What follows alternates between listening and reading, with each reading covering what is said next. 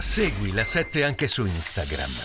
La 7 ovunque con te a questo vi facciamo però vedere una bella intervista che la nostra Roberta Benvenuto ha fatto ad uno di questi famosi protagonisti della lista pubblicata dal Corriere della Sera qualche giorno fa. Lui si chiama Fazzolo, è eh, un attivista politico, un eh, economista, insomma un personaggio che eh, chi conosce il mondo televisivo e del talk show ha già imparato a conoscerlo, ma la nostra Roberta lo ha sentito dopo la pubblicazione di questa lista. Vediamo.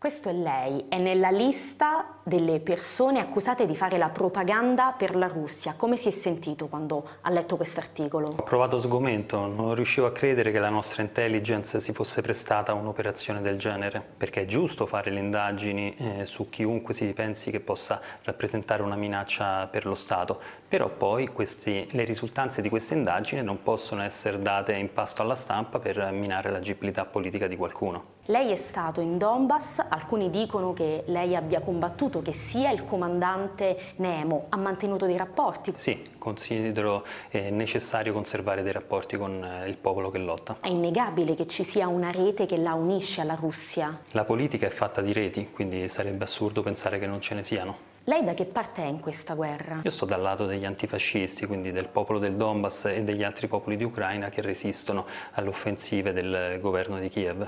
Questo significa stare dalla parte di Putin?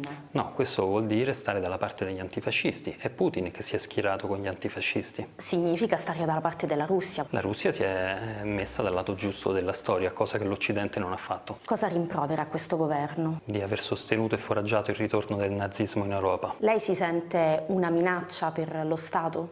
Mm, per lo Stato spero proprio di no, eh, vorrei esserla per il governo.